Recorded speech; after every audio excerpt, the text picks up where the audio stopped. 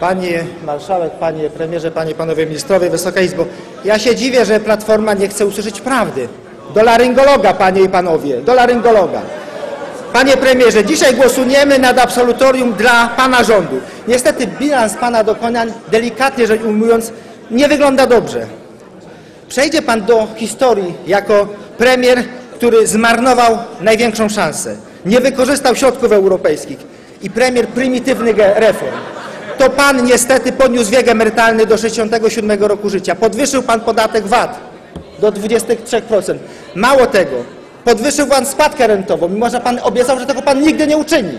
Co więcej, panie premierze, wydrenował pan środki z Funduszu Rezerwy Demograficznej i dzisiaj pan chce znacjonalizować otwarte fundusze emerytalne. Panie premierze, powiem w ten sposób. Solidarna Polska zdecydowanie negatywnie ocenia pana działanie pana rządu. I jeszcze jedną rzecz panu powiem, bo tę prawdę ktoś musi panu powiedzieć. Jest pan najgorszym premierem trzeciej RP. Niech pan się Dziękuję dobrze wsłucha w te słowa. Dziękuję bardzo.